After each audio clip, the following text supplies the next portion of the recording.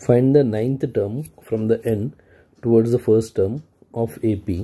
Here the arithmetic series, arithmetic progression series is 5, 9, 13, so on 185. So here the first term, if I take the series in this way, the first term is 5. Common difference is A2 minus A1 so second term is 9 minus 5 which is nothing but 4. Common difference is 4.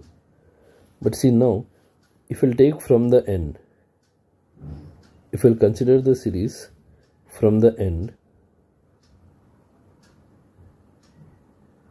from the end from this way so the first term is if we'll come from this way the first term is 185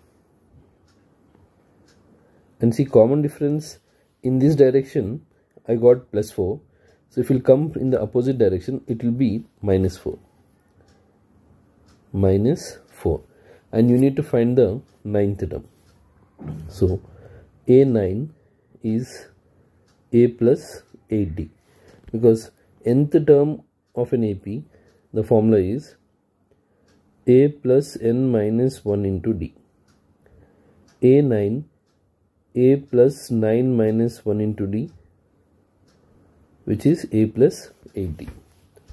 Now a is from the n the first term is 185 and common difference is minus 4. 185 minus 8 times 4 32 so if we'll subtract 5 minus 2 3 8 minus 3 5 153 so ninth term from the end is 153